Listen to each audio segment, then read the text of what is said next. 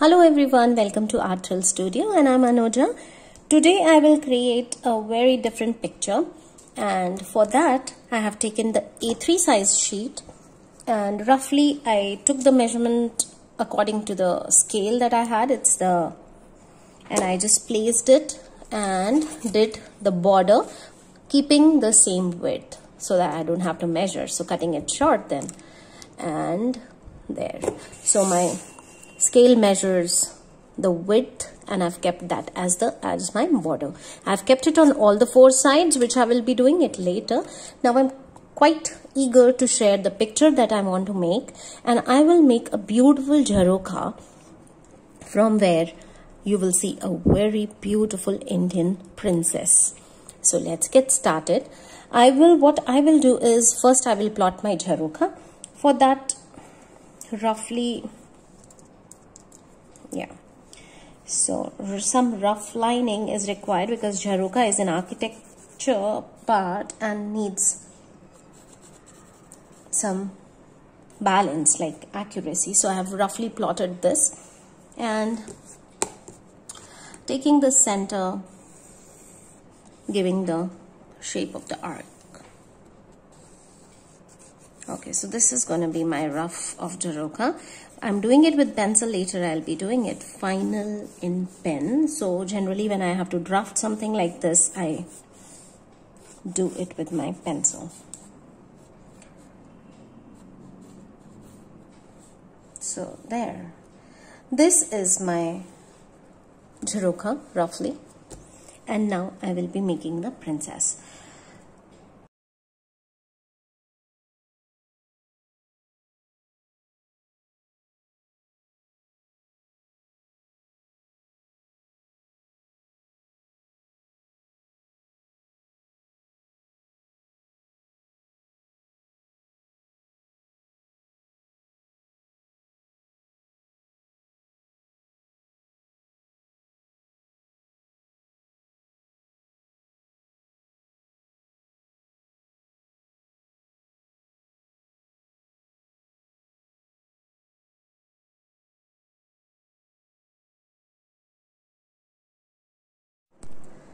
So here this is my outline which I basically sketched very roughly and now I'm going to start my picture on it. All the details will come now directly with the pen. So here I will start with my Uniball waterproof pen. So border and then this was the my jharokha So double outlining the jharokha and making all the details over my pencil line. But now you will see that the details are, I'm giving the details. So you can do scallop design, zigzag, any kind of pattern that you want to.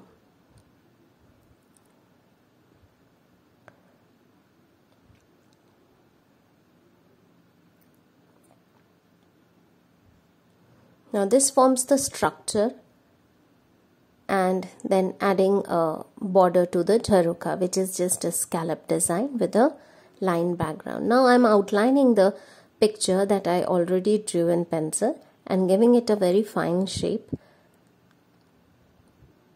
Now Madhubani is known for its big eyes, pointed nose and beautiful features. The intricate lines and detailed jewelry and dress illustrations.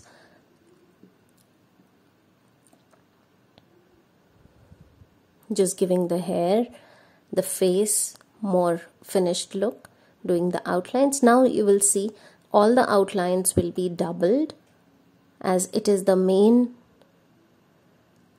element of Madhubani painting.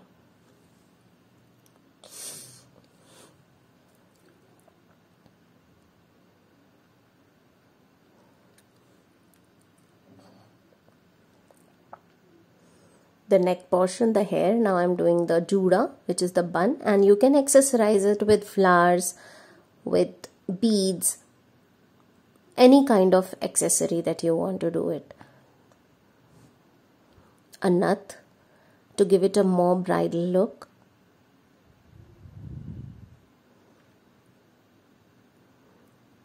Here I've added a little bit of eyelash and so the line is thick and the eyelid as well. So give it a more feminine and a very shy and a very beautiful look to the picture. Making the bangles and the hand. Now I'll give a finish to all my fingers beautifully.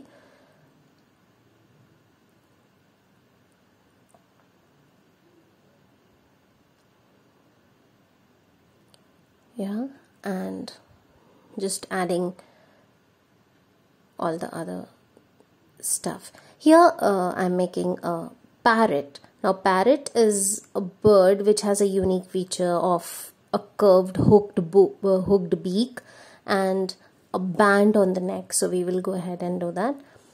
Giving a form of the body and the dress doing my lines. Flowers add beauty. So I'm just adding one flower in the hair and giving details to all the jewelry and creating it the intricate look. If you have not subscribed my channel, please do subscribe and there are a lot many videos on specific tutorials so do watch them. Here giving a lot many details we can fill up a lot with straight lines, crisscross lines, scallop designs or curved lines and give it a Kachni look. Here I will later color it which will beautify the picture a little more because the bride needs to be a little colorful. Now giving a look of a necklace.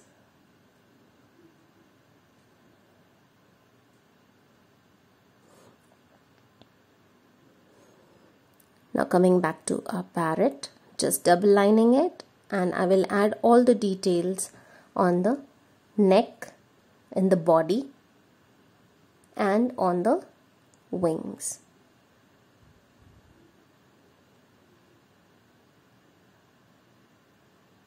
Do not forget to watch my birds video. I will give that link in the description box this will that will give you the idea of how many types of birds we can make. There there are endless possibilities that we can make in madhubani.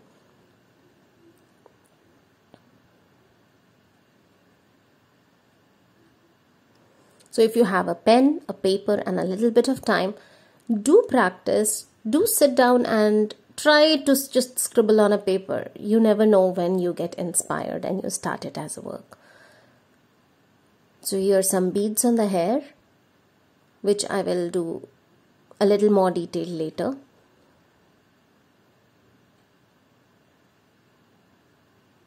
The dupatta and the dress. It totally depends on your creativity and how much you want to make it elaborate, how dense you want to make the design, or how scanty you want it to look more fill of colors or more play of lines you can just it goes on your wish. So just take this tutorial as your guideline and try to create your own picture. Do share with me whatever you do or make or you if in case i'm able to inspire you do share it with me. Also write your comments to me if in case you want any elaborate discussion on any other topic or any other uh, any other help you wanted on Madhubani. I probably answer in another uh, in 24 hours or so. So now giving it a little uh, detail on the design of the blouse, I'm giving it a motif of two parrots back to back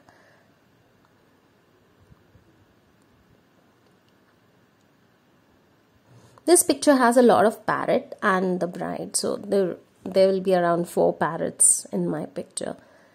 And that will give the green bright green color a lot of hold on the picture.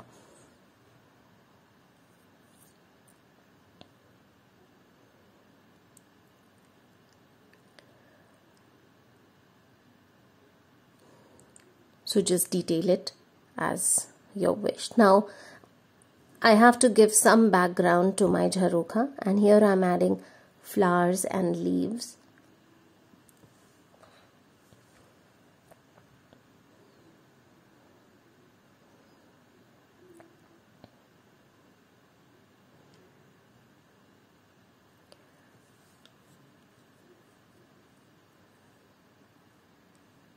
We can also leave the leaves vacant and fill them with colors. Somehow at places I find the mix of both look more pretty. So I just do, at times I do both the sides with lines. At times I will do just one side or else I'll just leave it.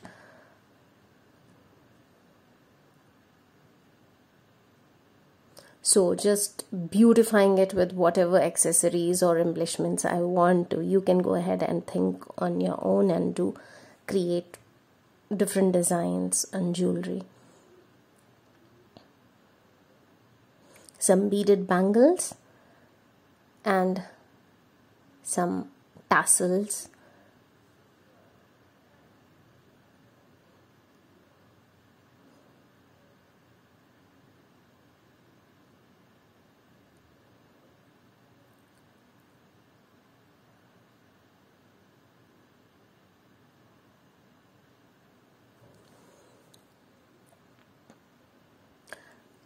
so here that is some kind of a tassel on the other side of the hair. And just crisscross and the some kind of a print. Now while we make the prints of on the dresses and if you want it to be colored later you can always have a vision in what colors you want to use what predominant colors whether it's going to be the dark dark colors or the light colors or the mix of both because Madhubani is known for vibrant colors, very, very vibrant colors and beautiful play of colors mostly contrast. So when we'll do the dress in paint in colors um, then we'll uh, then you'll realize that few of the combinations go really really well. Like uh, we'll talk about the colors later when i pick uh, pick the colors on it as to what I am doing and what all other options can be done. So just creating a heavy dupatta. We will do this other side, the right side I'm showing it, uh, the left hand side I'm showing it to you right now. The right hand side will be the replication of the same. So it will be repeated on the other side.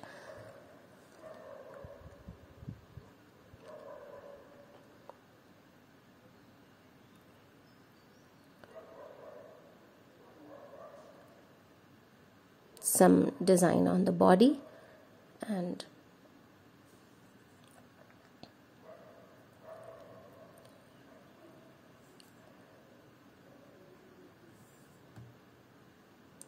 and the dress as well.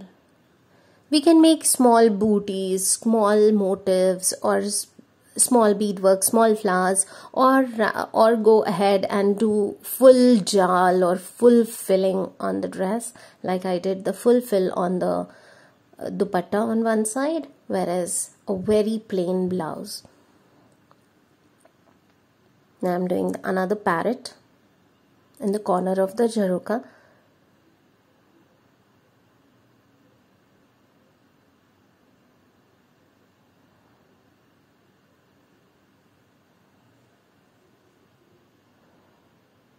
while i started doing this this picture i thought of making something else and it, now i'm making it something else actually altogether.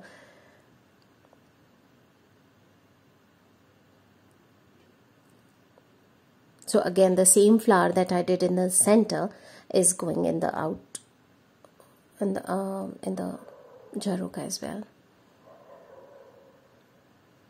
This is the basic design of the parrot. I will go ahead and do a little bit more on the bird.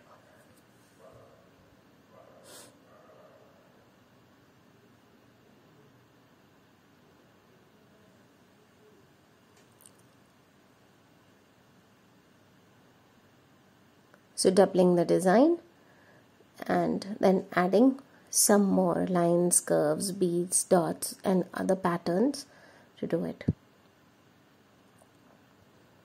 small scallop design to fill the wing.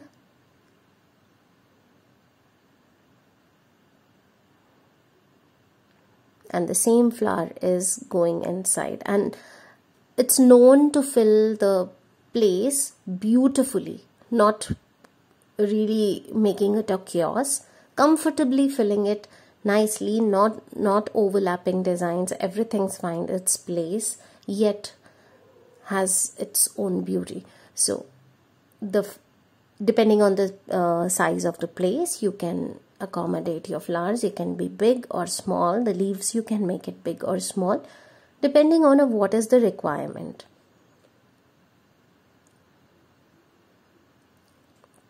So once you just outline your sketch and you are ready that okay this is my plot. I've, i have to do the things. These lines and uh, details on particular designs you will get it when you practice so now this is a very heavy dupatta with the design and I'll do the same on the other side. Coming back to my parrot, I do the body.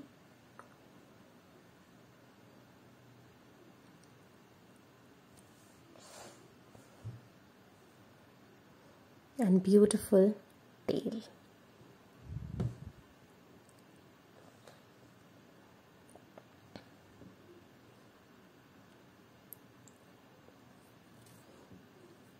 Now the same thing will be done on the other side. Now the beads are small flowers that are making the hair look pretty.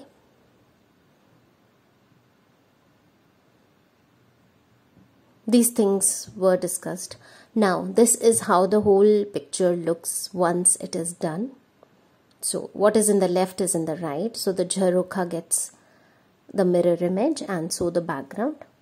Now we'll start coloring. What I have used in coloring is the acrylic paint and synthetic round brushes. I do not use uh, paint directly from the bottle because I think that they are a little thick. So I dilute it with little bit of water so that I do not get lines while I'm painting. So if you take the thick paint, you you tend to get more brush strokes they are very obvious so I advise you to dilute it a little so that it has a good blendability and spreadability throughout so now what the colors I have chosen are red orange and green for my parrot. So generally I choose two three colors four colors to go and balance on the picture. It's not like it shouldn't be like a color chaos. It should have a balance.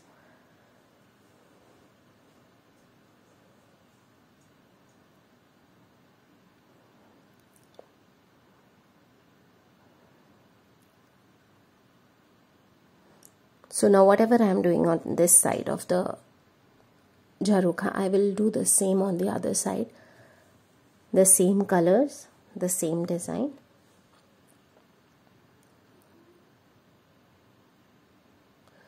when you paint you have to make be very a little careful that first you do the outlines and then you fill the inside this will give you a better finish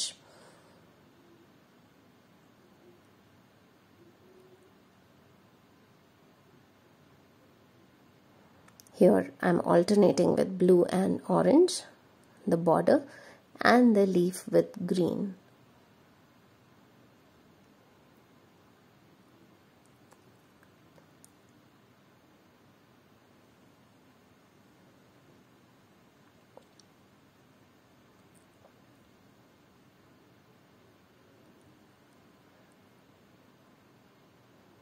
So this is a very big flower in the center of the picture and it has to stand out. So I took pink as my color.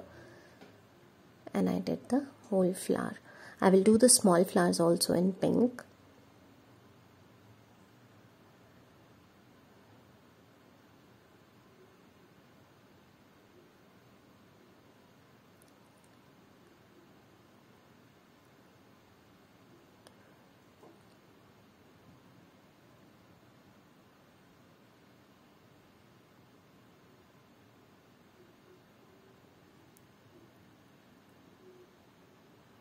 so it it uh, we can do the acrylic also at times if you want to use poster colors you can use poster color as well.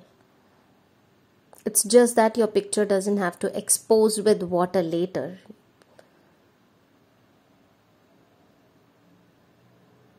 For very particular shade, if I get in poster, I use poster colors as well.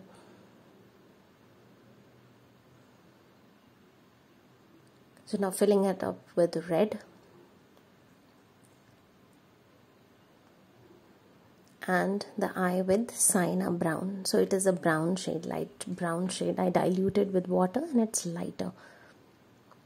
All the jewelry and uh, part goes in yellow which is the gives like a brighter look to the picture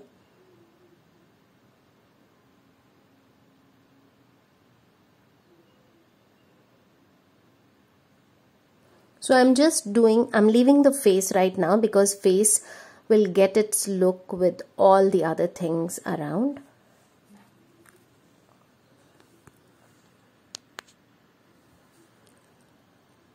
Just giving it a darker cast on the lip and filling the crimson in the jhumka as well.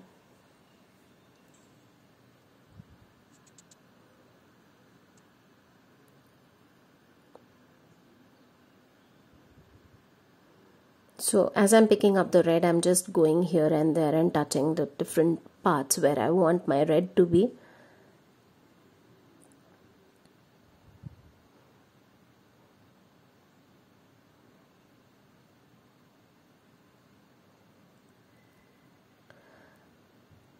Now as I did both the sides, I did the background of the Jharokha in brown and then I used a green color permanent uh, ink pen to do some broken lines and highlights. Now coming to the face, we get acrylic paint uh, flesh tint color which I diluted in water to get a very translucent kind of effect. So it is very very thin. So it's not dark at all. Then I, the uh, you will notice I do the outlines first and then fill up with one stroke. So sweeping it around to get a minimum lines. So try to uh, minimize all the lines. That will be obvious. So first do the outline and then fill up the background. And as soon as it is uh, uh when it is wet then only you have to rub it and just erase off all the lines that are there all the brush strokes so to get a very flawless skin.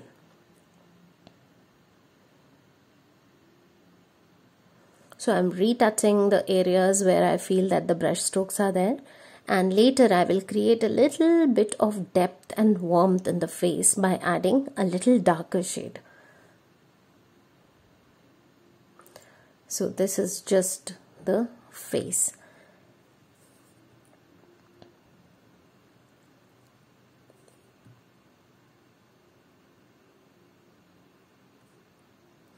Now I have taken uh, sienna which is the brown color and mixed in um, flesh tint color and then I get the dark color. I'm just outlining the outsides of the face and the main lines with this and then I will just try to blend it a little.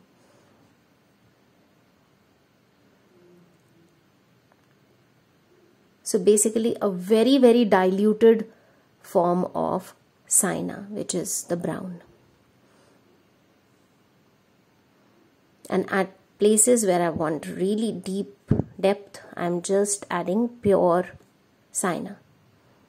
So this is the flesh tint color, which I will go ahead and do it on the hand as well. So this is diluted as you can see that this shade is a little lighter diluted and filling it up with the same color.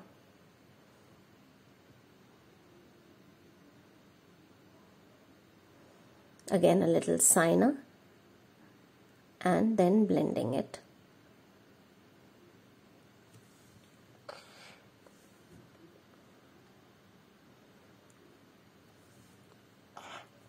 So the so the same technique goes on all the skin portions be it hand face or the body. So I'm just doing the first base with diluted flesh tint color, taking a little bit of brown and while the background is still wet, I'm just rubbing it over and giving it a little bit of shade. Though traditionally we do not do much of the shading in uh, in Madhubani, but that's just totally my take on it and I want to do it like that. It looks more realistic and more warm and feminine to me.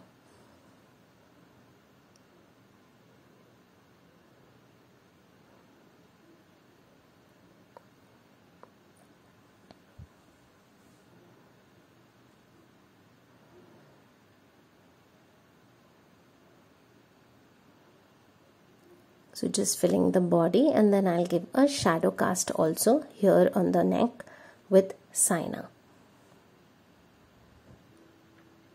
so I have filled all the spaces with the base. And now I will take up the Sienna and do a little bit of outline work.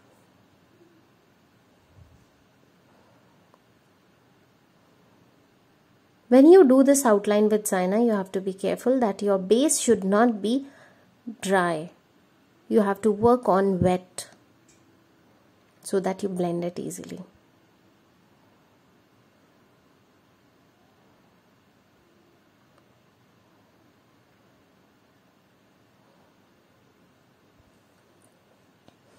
and if you do not want to go into the uh, shading you can just take the flesh tint color and fill up the face and that's it.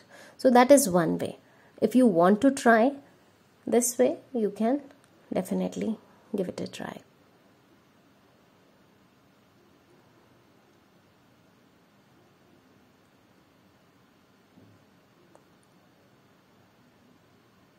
Now a little bit of the shade in the eye gives it a more realistic and more beautiful look for me. That's my personal liking. So I just do that little red pinkish color. Going to the background, I will add the sky blue color which I diluted the blue and white together to make this color.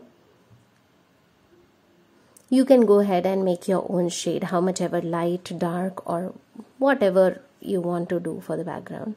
So this is my all the background and the birds are done. The lady's face is done. Now we are left with only the dress and the dupatta. So I have taken a crimson and I have added a little bit of black in it to give it a darker shade. It's more like maroonish or burgundy color that we'll see say and then I did the blouse. Going on to the dupatta, it is violet and I've filled the dupatta base with violet color or the purple whatever.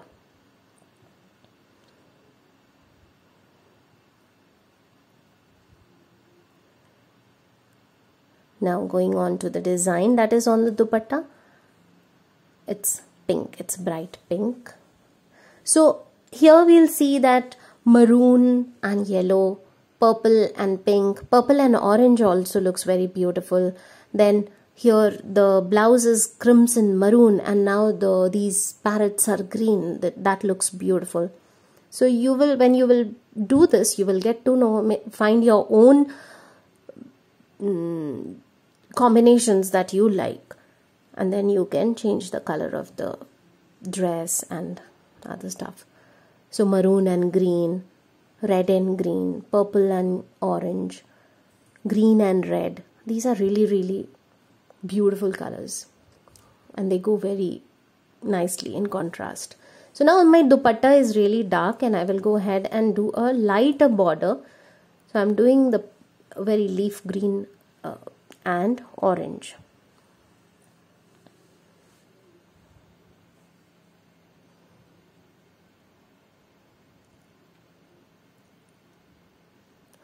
So this is the turn this is how the pictures could turn out to be